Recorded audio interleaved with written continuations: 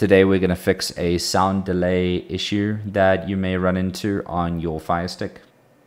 So what you're going to need to do is scroll over to the right hand side. Please select settings. Once you're there, select display and sounds. Scroll to display.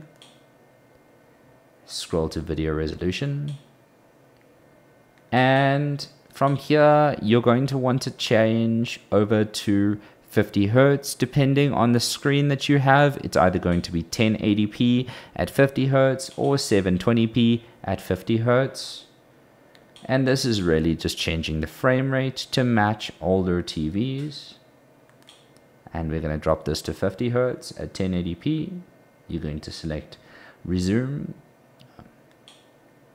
or confirm Okay, so this has now changed the frames to 50 hertz. If you're still running into an issue with audio where let's say you can't hear the character talking but you hear the occasional bit of music in the background, please refer to my other video here. Thank you so much.